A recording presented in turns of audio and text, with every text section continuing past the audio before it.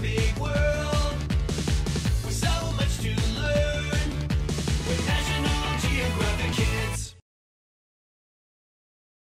Hey everybody, it's Julian here, and this week on Nat Geo Kids, we're gonna be looking at some amazing videos about your favorite animals and mine. Insects. Come on, bees, flies, termites, bedbugs, cockroaches. They're your favorite, right? Well, those aren't the only ones. Moths, ladybugs, and butterflies are all insects too. In fact, there's somewhere around 1 million different species of insects on the planet, and that's just the ones we know for sure. Scientists think that there may be as many as 10 million different species, but they won't all be crawling around in the grass when you're trying to have a picnic. If you don't like insects, you might have a hard time finding some place to get away from them. Insects can be found in nearly every environment on Earth, including Antarctica, which means you might have to think about going to, oh, I don't know, the moon? Until that's possible, you're stuck with them. So let's take a look at our first video where we learn some basic facts about insects.